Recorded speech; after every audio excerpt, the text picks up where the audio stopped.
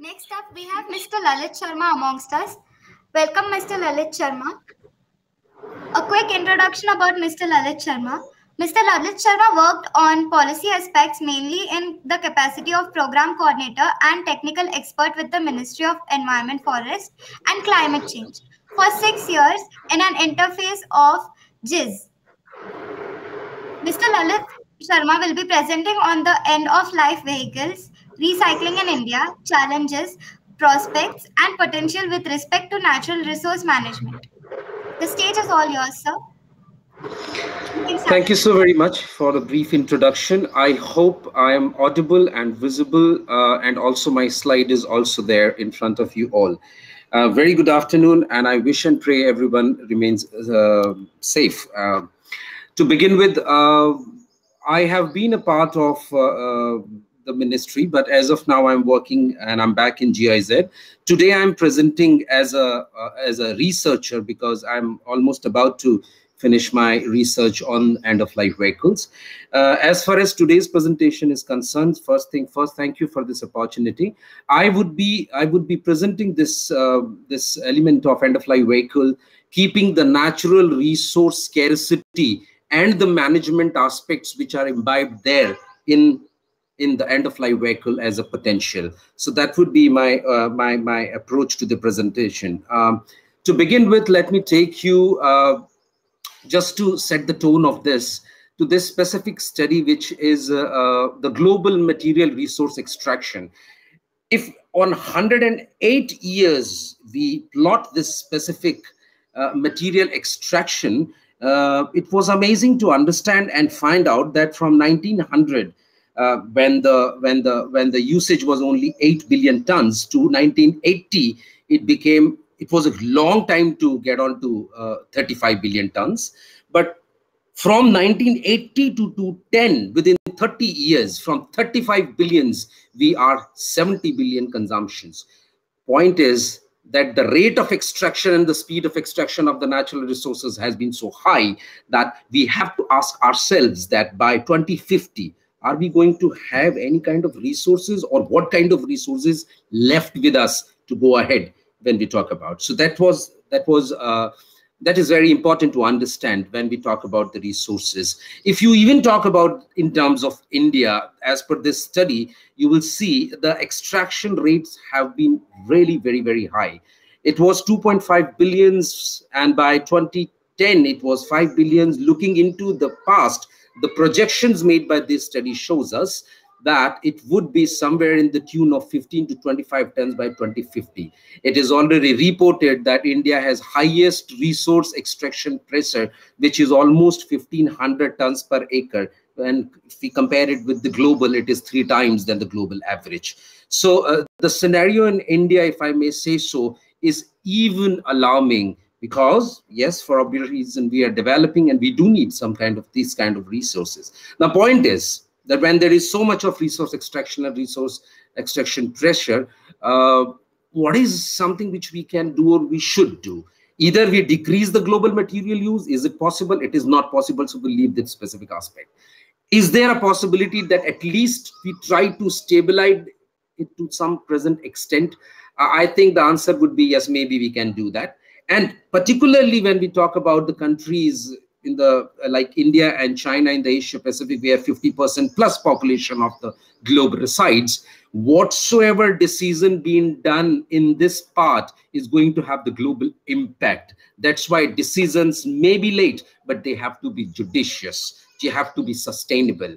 And that's where I would just like to connect this with the specific subject that how when we are talking about that can we stabilize or can we contribute to some extent that we try to stabilize the resource extraction rate to some extent, the answer will lie in here that we'll have to, you know, this can be achieved uh, by efficiently using the resources and not only uh, throughout the material life cycle of extraction, production, consumption, but also in the post-consumption stage when we are looking at waste as waste. We don't have to look at waste as waste, but we'll have to look at, at a resource and have to bring the circular economy approaches by doing so to some extent i'm sure you all would also agree that uh, it would help in stabilizing the resource extraction to the present state. And when we talk of end of life, the subject of today, it is one such waste stream, if tackled really judicially, will surely contribute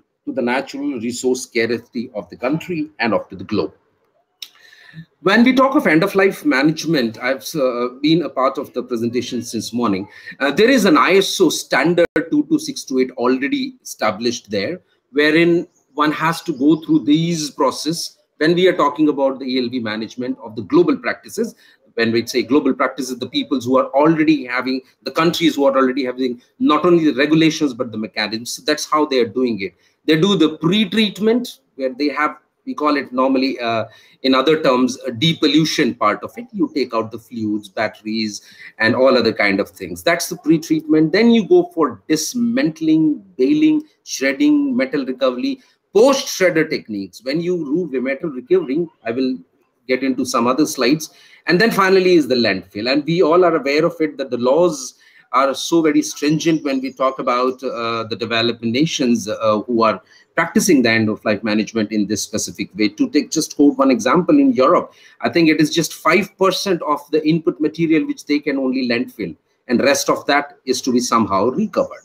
In other terms, if we see it specifically, we would find out that this process has almost, uh, when we talk about, if you look into the left bottom, you have a vehicle it is end of life vehicle it goes through depollution extracting out all the haphazards all the fluids and all other kind of things. And then gradually it goes for the dismantlers hulk baled hulk pre-shredders. And then once this is done it goes into the heavy uh, what do you call hammer mills the shredding machines. What happens there we will not get into the details of them. These are very uh, very energy intensive and very huge plants where you have various kind of techniques which comes across together to take the ferrous and the non-ferrous part from that specific material which was the input. Like you have uh, magnetic drums so you get the ferrous materials out. Uh, the red boxes are something which i would like you to concentrate a little bit on. These are actually the fluff materials we call in some other words auto shredder residue asr which is the waste coming out of it. And what I would like to highlight over here is it is almost 20 to 25% of the input material when we talk about this. Now, 20 to 25% of material going as a waste is not a very economic solution. That's why they further go for the post shredder techniques wherein they already have the already have the global uh, experience saying that incineration thermal chemical processes like pyrolysis and gasifications are proven to take out the resources out of it so it is the it is the it is the auto shredder residue which uh, I would uh, like you to just be with me on this specific slide. When we look at it, it not only have the resource potential, but it has a different element or landscape of hazardousness to it. When we talk about the resources in it, there are ample of. You see in this specific study, plastics up to the range of 35, rubber, metals to the range of 6 to 13, textiles and whatnot. So these values or resources should be extracted. But when we talk about that, what are the hazardous part, you uh, would see that there are even lead, cadmium, uh, polychlorinated biphenyls and other kind of things. Some countries even have declared it hazardous waste. When we even talk about the auto shredder residues treatment in the post shredder techniques, which I've shown in the earlier slide, it is one of the most difficult and pretty expensive one. Since the dioxin related compounds, brominated flame retardants are used extensively in the vehicles, heavy metals, flame retardants, uh, which are with the persistent organic uh, pollutants often remain in this auto shredder residue, which is the waste of uh, ELV, and may include unintentional generation of the POPs, which is even dangerous. So what I'm trying to just underline here is that even uh, the players who are uh, the global players in ELV management have been dealing with this specific uh, challenge of auto shredder residues. Point is, uh, are we sure that whether this specific auto shredder residue is going to get down or reduce? Answer would be no. As one of the presenter already mentioned, just have a look to these 20 years study. You will find that the ferrous metal onto the left side is decreasing extensively and the non-ferrous metal and the plastics and the textiles are increasing. It is such kind of plastics and the textiles which is increasing just to make fuel efficient car uh, because of which uh, the, the amount of usage of these component is increasing. and who is responsible mainly if you talk about the character of asr it is these plastics and textiles and such kind of components which are major junk which is responsible making the auto shredder residue. In the time to come, that's why they are not going to reduced. Even if we look at the shredder plants, they are, if this is just one from uh, Italian, this is just one sketch. They are very uh, extensive plants, have the conveyor belts, density separators, cyclone, venturi tubes and whatnot. And when we talk about in terms of the um, energy, it was just from one of the energy audit from one of the specific one. Just let's have onto the uh, left side. You will see that uh, top left, there was 44 units per ton of input material uh, which was uh, you know which uh, this much of energy is utilized when we talk about. So that's how energy intensive these specific productions or these specific plants are. If you just convert them into uh, the co2 equivalent the left top, left, down, bottom, you will find they are in the tune of, uh, if we just consider one motor of 300 HP, eight hours operation, it would be somewhere in the tune of uh, 14 uh, you know uh, thousand tons CO2 equivalent per day. So very energy intensive. So what what is the problem statement? What I'm trying to say, uh, resource deficiency surely is there. Use of waste or resource, we have to make a decision. End of life vehicles give a high potential Auto shredder residue, which is the waste of ELV, is 20 to 25%. It has the resource, but also has the hazardous component into it.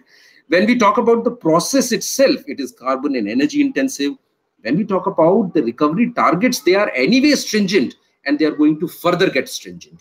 And when we talk about the further investment, there are already in, uh, a huge investment in the shredder and such kind of techniques. But when you go for post shredder techniques, they are further increasing. So if we talk about India, you see, uh, we are almost uh, at the bottom ladder. We are 99% being, uh, you know, ELV has been tackled by the informal segment. We don't have much of law with us. So we have a huge uh, way to uh, further go across into. There is a long road to it. I'll not get into this. People the only segment uh, or the only statement is the automobile segment in India has been booming since 30 years and I see it is going to get further. The research study which I am going to present in next of the slide was only concentrating on the passenger car. I need to mention it in here because it's not catering what I'm going to show you the overall ELV but just the passenger part of it. That's how we all are aware of it, that how does the Indian informal segment looks like. It is not only in uh, Delhi Mayapuri, but several parts. You will see that you will see onto the left side and the bottom. I've spent quite a lot of time while doing this research in the field. Uh, you will see all the left, all all the all the all the all the play, the blue shutters and all those are the fabricators of one or the other kinds, and that's how they work together. I mean, together in the sense that this is the haphazard crude methods which they are using. They they simply use the crude methods I'll not dig into it because most of us knows it. These are some of the actual pictures that I must mention and underline it. It is not so very easy to get into these informal sectors and take the pictures. There are few, I'm sure, a few people who are in the uh, in this uh, in this uh, workshop today would also agree to it. But just to give you the glimpse of it, how does this work? These four five people I've done 18 or 20 of such kind of dismantlings and we've used five of the samples for the study. Within 40 minutes to one hour to one and a half hours, four five people just dismantle it like this. You see the circularity of it. And the car absolutely ends up into a hulk and the rest of the part are taking here and there.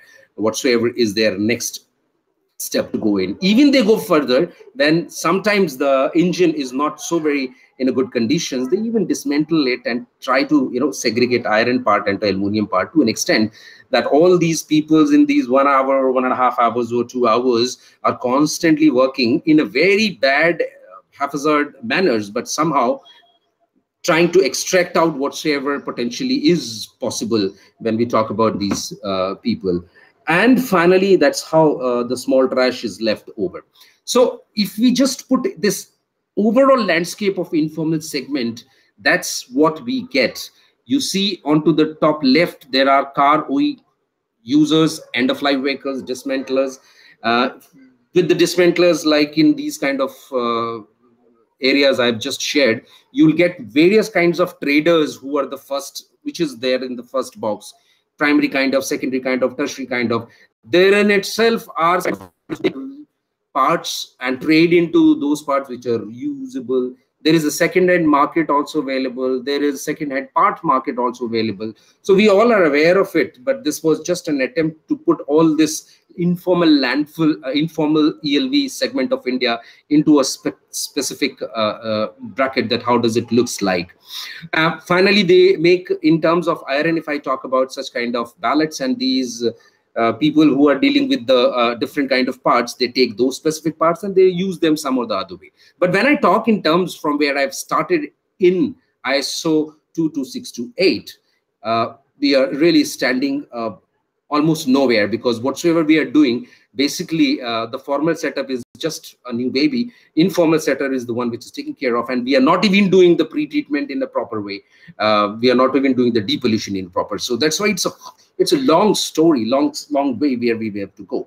Uh, credit to uh, my uh, dear uh, one of the presenters in one of the workshops mr sujit somdar. This picture is from him. This is how the this kind of informal you know markets looks like. My intention to tell you is that okay they they they, they do look in a very haphazard manners and all that but if you just go to this gentleman who is sitting there and ask for a specific particular car door or a specific part he will go and immediately take out though they don't have any inventories and all such kind of things. So what i'm trying to say is okay they are doing a not very good job but there is a slight amount of uh, slight amount of knowledge which do exist with these specific uh, informal uh, players uh, I'll just put upon one part, one of the case of iron that how this iron has been moving. We have done it for the aluminum and other parts also. Be with me on the ELV, which is the red box. It goes to the dismantling. Then there are iron uh, scrap dealers within the areas like Mayapuri. They give it to the secondary ones. They give it to the tertiary ones.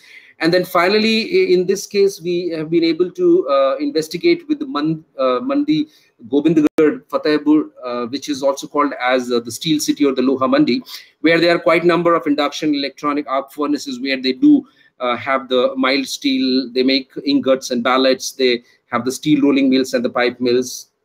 So um, what comes out of it, if you see in terms of percentage, I'll not touch upon various parts but what is interesting is that whatever amount which was coming from these kind of scraps if you go down into mandi gobindgarh and go down there are three major segments wherein this goes. Construction uh, others majorly goes to the constructions for the channel beam angle angle tmt bars. We are all aware of it but we found interestingly there was a some amount which was even coming into the mobility sectors. In this specific specific sector. In this specific geographical location, there were uh, some uh, automobile company manufacturers who were been taking all such kind of things because they were making their further components like round bars, square bars, flat bars, galvanizing coils and all that from this material which is coming. And as uh, as we talk about the circularity, so there was a small amount of circularity in this specific case examples, which was uh, which was attempted in there. These were the uh, the bottom segment. You see uh, some of the parts which were coming out of uh, the material iron from the ELV segment uh, within themselves. These were the five samples we have done, and we have we have dismantled them and have tried to classify them uh, in terms that what are the characteristics and India's uh, characteristics are also not very different from the global one. We have almost 76% iron and then aluminum and then rest of the components into it. We even calculated the recyclability and recoverability potential. I must underline it, only the potential of hatchback, the second underlying car, as I've mentioned. And to your surprise, in these five segments, when we have done this experiment on the basis of a specific method which is available, because this was one of the highlight of this study, uh, there are not much of the methods available for identifying the recyclability, recoverability of informal segment. But we tried to uh, come across with one uh, which is mentioned in AIS 129, uh, the method. And we've tried to come across with that. The potential when we talk about the dismantler was pretty uh, satisfactory up to 88% and 91% and when we when we talk about such kind of uh, uh recyclability potentials of of the formal the shredder plants uh, it would be of interest to you that sometimes it is somewhere in the range of 75 to 80 or 85 so because as i mentioned 20 to 25 percent out of those shredder is the waste auto shredder residue. So uh, dismantling only that dismantling potential uh, was interesting uh, to be there in the range of uh, 88 to 91. When we convert that, and we have done it only for aluminum and iron, when we convert that over the periods, you would see that the iron recovery from the only hatchback segment will increase from approximately 0.71 million tons to 4 million tons. One of our colleagues already mentioned that uh, in, uh, I think it was uh, the first presenter, sir, uh, it would be 10 million in terms of iron and it absolutely collides with that because this is only hatchback. There are quite n number of significant and hatchback is only uh, one component out of the 14%. So it is absolutely, absolutely evident from this specific work also which we have carried out in this study. Same is with the case of aluminium and if I connect it uh, to where I started, all these contributions from the end of life sector are surely going to address to some extent to the resource scarcity of India and so to say of globe. All this is published already in this specific research paper last year and in my presentation this would also be available. Uh, so my concluding three slides. Sorry I think yes, yes, yes, yes. I've seen just one minute, and I will be coming to it. I am trying to keep the time. Thank you for reminding me. So uh, when I when I, if I just try to conclude it, what is what is the way forward when you talk about the resource potential from the end of life vehicle? 99% informal we do understand. It is the depollution part which is creating huge problem. You also will agree to me because it is the most critical part and they are not taking care of. India, if we talk about point number two, uh, we may think of not going for the expensive systems of ELV treatment, uh, but we'll have to indigenize something because these things are possible in US, Europe, uh, because uh, the labor cost there is so very high. And in India, it is not so very high. That's why probably we can go. And the study already have proven that uh, dismantling is something which uh, they are also looking forward for uh, concept of DFR, like design for recycling, design for dismantling, eco-designing, have to be brought into the policy domain to enhance circular economy concept, uh, which will further enhance the overall uh, resource uh, scarcity challenge. Uh, I may skip these uh, three parts, but the point is, which I would like to mention, the fourth point, this specific sector, only dismantlers I'm talking about. I'm not talking about the overall value chain. Overall value chain, there are n number of inefficiencies. We just study the dismantler and its network, if you talk about, it's it's it's a huge employment when we talk about these. They do have something in them which they are carrying forward since decades. I think it's four or five decades in case of Mayapuri it was happening. So maybe something uh, should be tried with them, uh, of course, with the government interventions. Probably they can be uh, extended hence to the formal setups or there has to be some other uh, things to be carried out. My final slide, uh, before my final slide. So uh, what I would say is that dismantler or manual dismantling is an appropriate step to consider in the overall ELV management chain especially in developing country. So the Indian process shall also be encouraged because this is also been, you know, justified by the developed nations who have the ELV that the intensive dismantling is good. I have three examples. I'll take only two of them from the box. We remove car seats because they put the car absolute vehicle into the shredder.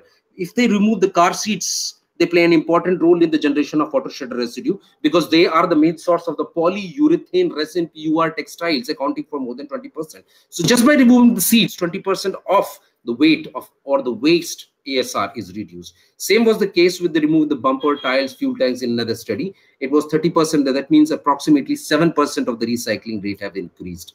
So uh, what I would just like to say towards the end, my last statement written into the bottom is manual dismantlers has been you know recycling and having a good recoverability potential against all the odds. So these shall be integrated uh, with the formal setups in some or the other way.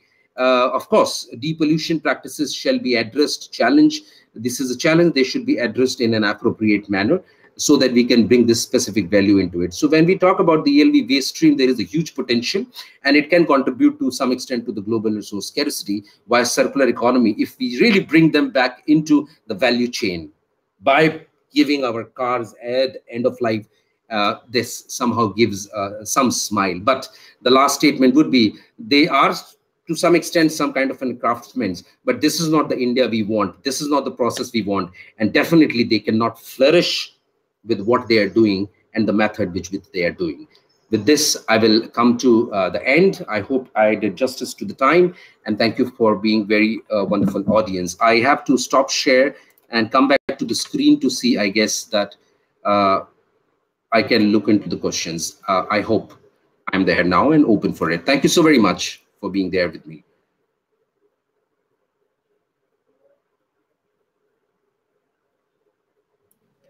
Um, thank you so much, Lalit Sharma. Uh, now we are up for question and answers. So everyone can post their queries in the question section. Mr. Lalit Sharma will be handling them from, from there. So we have first question from Arun Dilipan.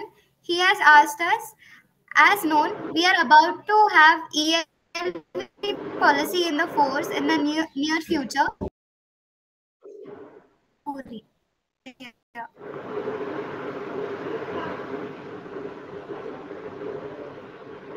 Uh, if I may answer, I've seen it. Uh, uh, see, definitely uh, the way it is being done, we cannot, even the informal ELV sector, if we give everything, they don't have the capacity to uh, take care of it. And the second point is that we don't want uh, them to work like that. The third point is that the formal setup is coming up. They have high, very high expectations from this specific um, the market. You see, uh, uh, we can quote an example, if I'm allowed to, of one of the company which uh, already have, I think, 29 um, such kind of plants which they are going to come across in very few I think by next year. And in next few years they are going up to 200 there are other companies also which are coming. I even have some information that in there are there are some organizations which are coming up with putting some sort of shredders uh, which are to the tune of Indian conditions and all that. So my answer would be that uh, it has to be changed. And uh, uh, with this policy, this segment is going to grow like or uh, you know flourish like anything. Probably uh, what is required is that we all have to work together, as it is also described in CPCB's guidelines, that there has to be shared responsibility that can be an answer, which somehow or the other advocate about the extended producer responsibility. But the answer to your question would be uh, there is a huge market and scope and economy and the business case in this specific one. I think there is another one, uh, the question. I hope I did uh, some justice to your question, my dear friend. Uh, this is, uh, are there any policy considerations of ELV recycling parks? Okay, uh, well, I do have heard of it when during my tenure in the ministry, there was some such kind of discussions going on uh, to have the parks not specific to a specific like kind of like vehicle all that, but probably uh, I would not be in a domain to answer that specific question. Uh, the next one is that uh, what kind of a cost difference can we expect in dismantling informal and informal setups? Well, uh, as of now, uh, the amount which we get in the informal sector is a little higher than what we are getting in the formal setups. And the other thing is in the informal segment, the business model is cash. They don't go for inventories and all this, nothing straight away. Uh, the money comes. That's why people are most of the time more comfortable getting in touch with them rather than going for the formal part, which is not a very good practice. Uh, if we have to really make change, we have to be a part of uh, the solution, not to the problem. So we have to look forward that how can we also get in touch with the formal players who are who are coming up very strongly. Uh, sorry to interrupt, Mr. Lalit Sharma. Further, the questions can be uh, handled on his uh, Gmail account. All of you can uh, contact him on his personal email ID that we have been uh, sharing that on live chat. So I've just shared his email. You all can contact him for further queries. Thank you, Mr. Lalit Sharma, for presenting your views on the topic. We were pleased to have you on this stage. We are looking forward for further Thank you. It was a pleasure. and contact with you. Thank you so much. This session. Thank you so very much.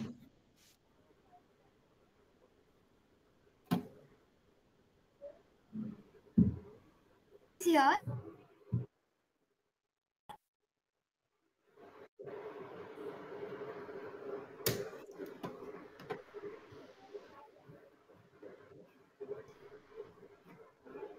The next session will begin shortly.